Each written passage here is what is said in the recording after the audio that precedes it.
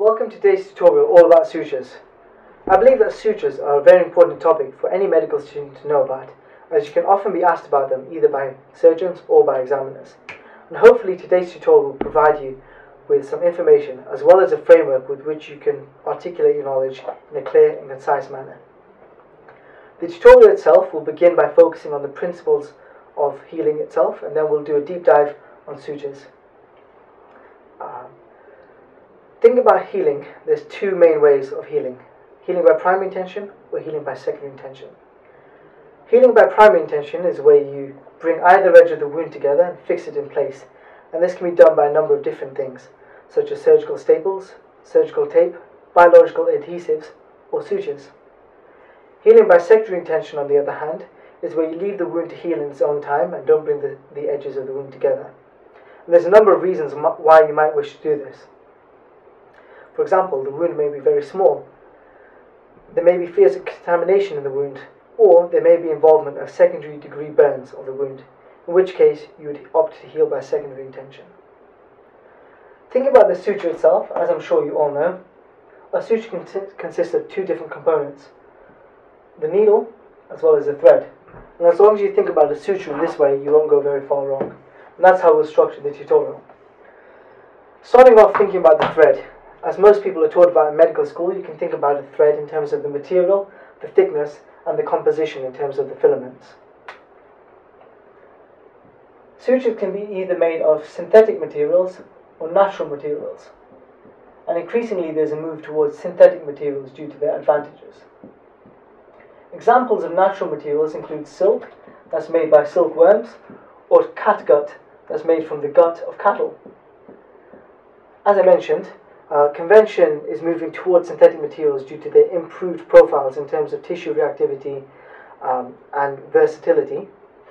Um, specifically with silk, there's fears or concerns with tissue reactivity, and also with catgut, there's fears about prion transmission and BC, BSE transmission, which is why uh, these are less and less in fashion. Thinking about synthetic materials, you can talk about them in terms of their absorption profile. They can either be absorbable or non-absorbable. And this purely refers to how the suture material behaves in tissue over time.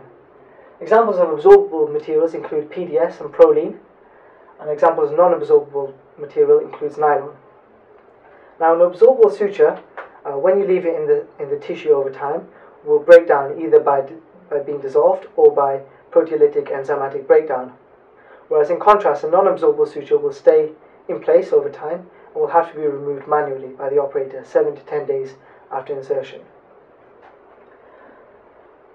You, you tend to use um, absorbable sutures on deeper structures and, and not to use them on, superficial structures.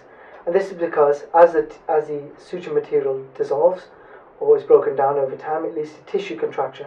And if you were to use this on the skin, this would lead to skin contractures and unsightly scars. Therefore, you use non-absorbable sutures on the skin and absorbable sutures on deeper structures. There are exceptions to this rule. For example, with children, you may not wish to insert the non-absorbable sutures as it can be quite fidgety and difficult to remove them 10 days later. So, if the wound is on an area of little cosmetic impact, you may wish to insert the absorbable suture and allow it to heal on its own. Another way to think about suture material itself is in terms of the thickness or the caliber of the suture. And sutures range in thickness from 11.0, which is the smallest, all the way to 6. And this classification is often quite confusing, but I'll explain how this originated. Initially, we were only able to create sutures from uh, a size 0 to size 6, and 0 was the smallest suture we could create. Now, as technology advanced, uh, we were able to create sutures of smaller thickness, and, and the smaller than a 0 we termed 0, 0 or two o. As technology advanced further, we, we were able to create smaller and smaller sutures up to a point where we created a suture with 11 zeros, and this was termed 11O.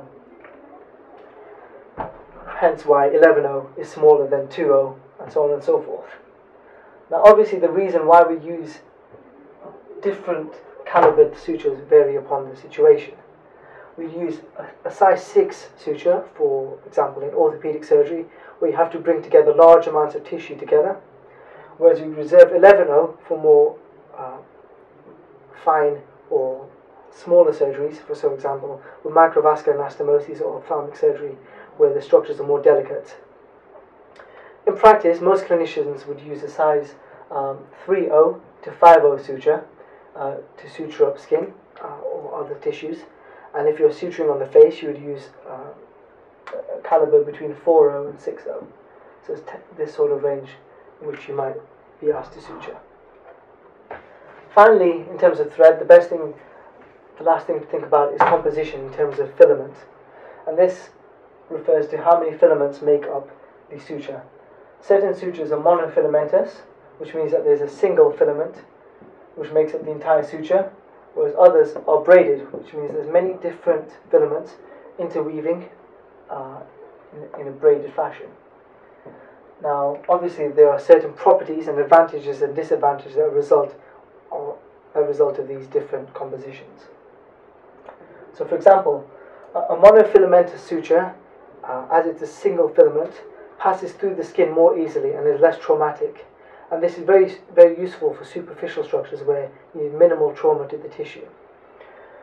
Uh, the disadvantage is it's quite slippery to handle in the hands, and therefore a braided suture is better if you're wishing to tie knots manually. Uh, due to the braided nature, there's also improved tensile strength with braided sutures. However, the key disadvantage is uh, the wick effect. And what this means is the areas where each filament overlaps, the small pockets where tissue fluid can accumulate. And as you know, uh, accumulated tissue fluid on a synthetic medium is an ideal uh, recipe for tissue infection, as micro microorganisms can settle in these areas and thrive in the tissue fluid and that results in a greater degree of tissue wound infection with braided sutures as compared to the monofilamentous sutures.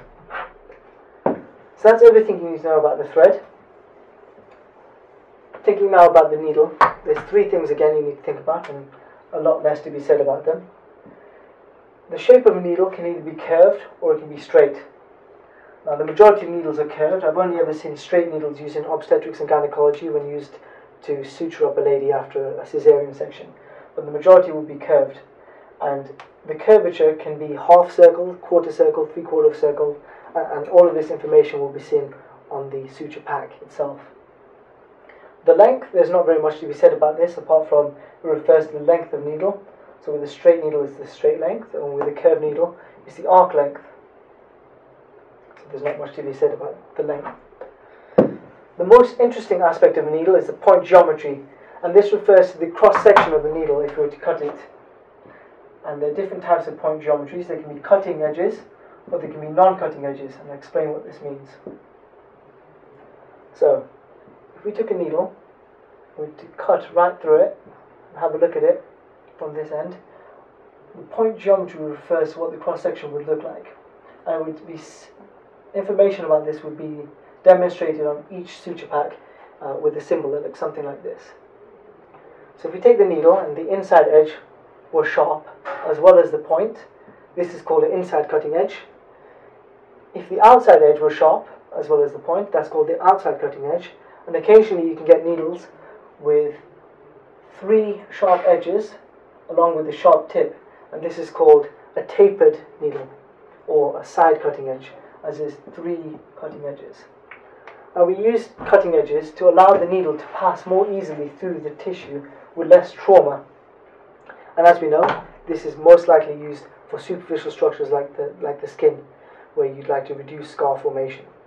Therefore, cutting edges are more used for the skin, and non-cutting edges are used for deeper structures such as bowel anastomoses. Non-cutting edge would be where there's just a sharp point and a smooth edge, and this is known as a trocar needle. So that's everything you need to know about needles and threads. A final thing of interest is how they fit together. Um, now, in modern medicine, every single suture I've ever seen has been swaged, which means the needle is already attached to the thread as you take it out of the pack. However, in the olden days, uh, there used to be unswaged needles where the, operator would manually have to thread the needle. Now, obviously, this has a number of disadvantages. For example, Um, it takes longer to thread a needle. There's increased risk of needle stick injuries as the operator tries to thread a needle. And also, the needle has to be larger to accommodate a thread, and therefore it's more traumatic. The only key advantage of unswaged needle, however, is the fact that you can customize the needle with the thread. But due to the, the vast advantages of swage needles, this tends to be the preferable method nowadays. So that is absolutely everything that you need to know about sutures. Hopefully in this tutorial you've come to realize that uh, whilst there's lots to be said about sutures, as long as you think about it in a simple manner, uh, you can elaborate on them for as long as you wish. Um, all of the information from this tutorial is available on, a download. If you go to our website www.f1toOne.com, you'll see a, a, PDF which you can download with all of this information. And if you like this video, uh, feel free to comment in the comment section below, or visit our website or subscribe where you'll see more videos like this.